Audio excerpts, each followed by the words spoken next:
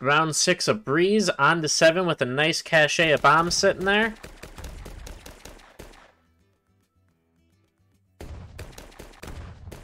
Round seven's looking good as well. Now we are round 8.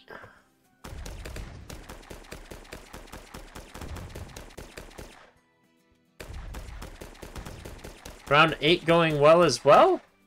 Round 9?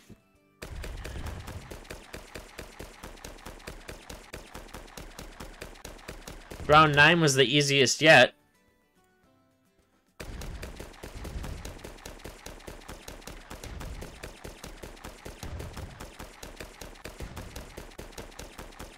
Round 10's looking good. The Admiral is going crazy. He made it through round 10. Now we're on 11.